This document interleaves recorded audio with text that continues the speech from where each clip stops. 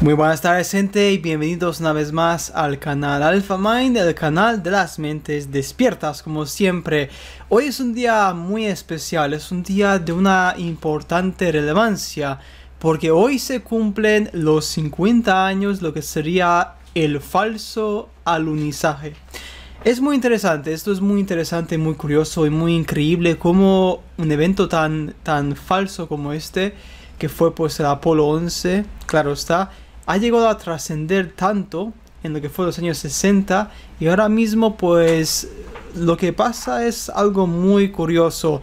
Es una verdad incómoda, es casi como esa verdad, es esa cosa de que está prohibido hablar, ¿no? Casi como sería pues en las series de Harry Potter, con lo que es el Voldemort, ¿no? Está prohibido pronunciar su nombre, aquí lo mismo. Todo el mundo sabe de que fue una farsa, todo el mundo sabe en su mente, en su, en su ser, es sentido común, lógico. Todos, hasta los que defienden férreamente esto, saben de que están defendiendo una causa perdida, porque es que las incongruencias de lo que sería el alunizaje son demasiadas. Pero aún así tenemos pues en el 2019, este 19 de julio, el doodle de Google que ha sido pues por supuesto actualizado creo que en todo el mundo creo, en el que aparece pues claro está la misión de lo que sería el Apolo 11 en dibujos animados. Este video muy corto de unos 4 minutos aproximadamente, 4 y medio, pues sale la voz de Mike Collins, que fue el astronauta de la misión Apolo 11 y fue el que estaba pues en el módulo dando órbitas alrededor de la luna supuestamente, mientras Buzz y Neil Armstrong estaban pues en la luna pisándola y por supuesto tomando muestras, haciendo fotitas, todo demás, ¿no? el, rollo, de siempre, ¿no? Pero en este, este video me encantó porque dice cosas claras y evidentes, como por ejemplo, el primero, la primera cosa interesante es de que cuando nos estábamos alejando la Tierra y vimos esa majestuosa luna, eh, yo estaba orbitando por mí mismo y muestra como el, lo que sería pues el orbitador se decopla y cae a la luna. Pero muy interesante de este vídeo es como no muestran cómo se reacopla el, lo que sería pues el módulo que cae, lo que sería aterrizar en la luna, ¿no? Alunizar ese módulo gigante como habéis visto, no muestran cómo ese módulo vuelve a subir hacia arriba y conectarse con lo que sería el módulo que estaba orbitando. Esta parte del vídeo no la muestra, la muestra solamente que han vuelto y ya está. Muy curioso, porque claro, esa es la parte más difícil que todo el mundo sabe que no puede funcionar. Pero por supuesto, en lo que sería pues la fantasía la NASA, pues se sigue contando. También una cosa muy interesante es que después de esto dice algo también muy revelador. Y dice, después de que hemos llegado, eh, tomamos pues una, una, digamos, una nota de prensa, fuimos invitados por todo el mundo, a hacer una gira por todo el mundo. Y todo el mundo decía lo siguiente, lo hicimos, lo conseguimos. Claro, aquí está la parte más fundamental. Yo creo que la parte más importante de la carrera espacial, como muchos sabréis, fue la de intentar pues ganar políticamente contra Rusia y establecer lo que sería pues la supremacía de Estados Unidos en el mundo moderno. Cuando todos estaban mirando hacia arriba, viendo lo que sería pues esa, esa nave, ese cohete subiendo, el mundo emocionado, todos estaban viéndolo, sorprendidos, con grandes esperanzas, sueños de poder explorar el universo, lo que sea.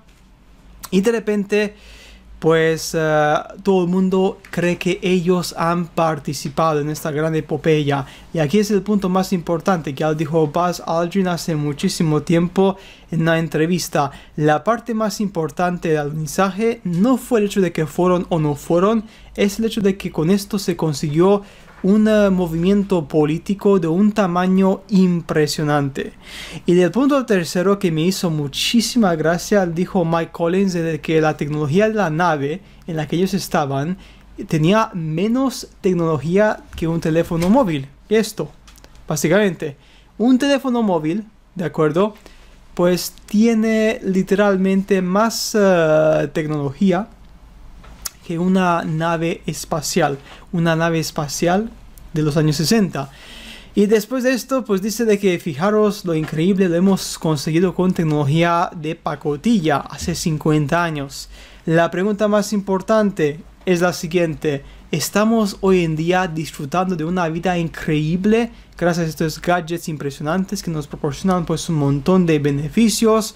Son increíbles eh, si sabes cómo utilizarlos, claro está. Pero mágicamente, después de 50 años, la tecnología para poder ir al espacio ha empeorado. Ha empeorado. Porque lo primero, ahora mismo no hay tecnología necesaria para ir al espacio, según los astronautas y también costaría demasiado según ellos, entre comillas, cuando el coste de producción de todas las demás tecnologías del mundo, ordenadores, coches, todo, televisores, todo, todo, todo el día, el día de hoy en cuanto a tecnología es 5 o 10 veces más barato que lo fue hace 20 o 30 años. Porque por supuesto con los avances las cosas son más baratas, se hacen más rápido, hay más tecnología, más herramientas, por tanto el sentido común te dice de que por supuesto las cosas son más baratas, pero en cuanto a lo que sea el espacio es todo al contrario completamente diferente.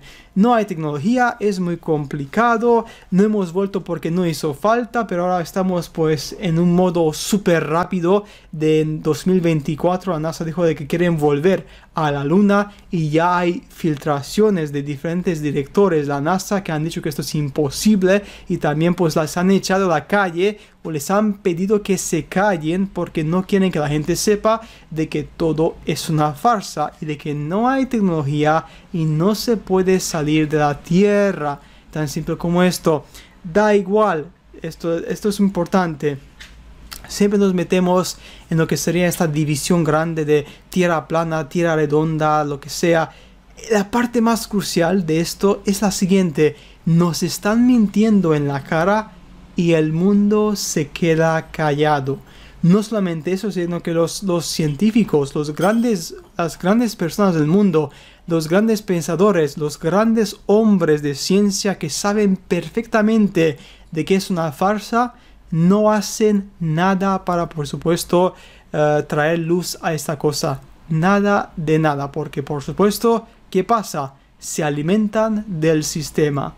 Y aquí es el punto más importante al que quiero llegar. Da igual cuántos estudios tienes, da igual si eres un genio, si tú eres un esclavo del sistema, tú has traicionado al mundo entero. Lo siento mucho, yo soy muy directo con mis vídeos, como dije antes, pero esa es la verdad por ahí dura. Eh, hay un montón de gente hoy en día que saben perfectamente, pero debido a su posición política o de trabajo, nunca se atreverían a decir la verdad. Muy fuerte.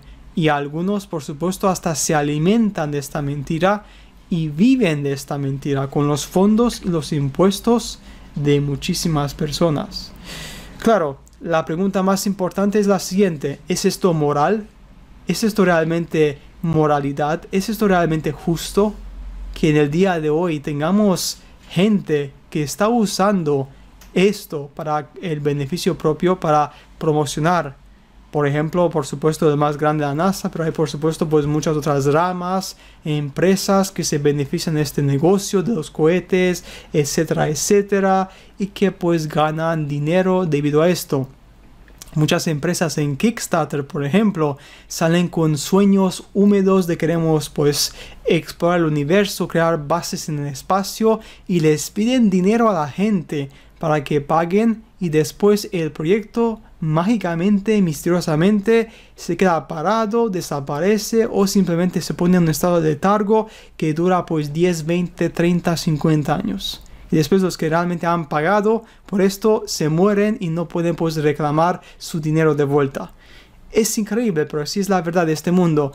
El día de hoy, lo que está pasando con el alunizaje es algo alucinante. Yo todavía flipo y he visto cómo han conseguido engañar al planeta entero con una farsa de cojones.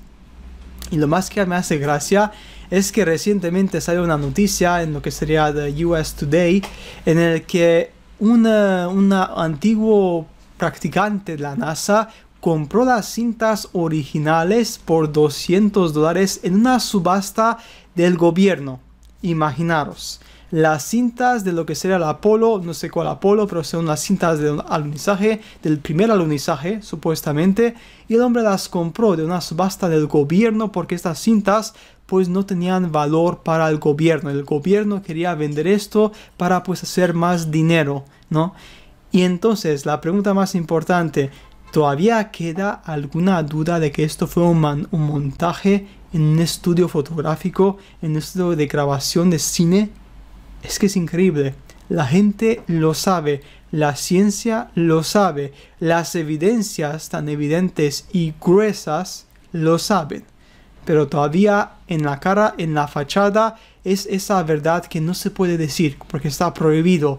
Porque en el mundo social, si dices esto, pues te consideran como un hereje loco que estás en contra del sistema y eres una persona que es muy peligrosa para el sistema porque piensas de manera independiente y no eres una oveja que no piensa por sí mismo. Bien, pues nada más amigos, disfrutad de este aniversario, disfrutad de este 50 aniversario de la NASA, que es increíble. El falso alunizaje, por supuesto, nos ha dejado unas fotos increíbles, tremendas, y esperamos ver, claro está, el siguiente alunizaje, el 2024, que estaremos examinándolo con una lupa tremenda para ver cuántos efectos de CGI le meten, cuánta realidad aumentada, que por supuesto hoy en día ya hay tecnología que puede renderizar a un nivel impecable. Os recomiendo ver mi vídeo que puse hace bastante tiempo, como el nuevo Unreal Engine 5 es capaz de renderizar imágenes fotorealistas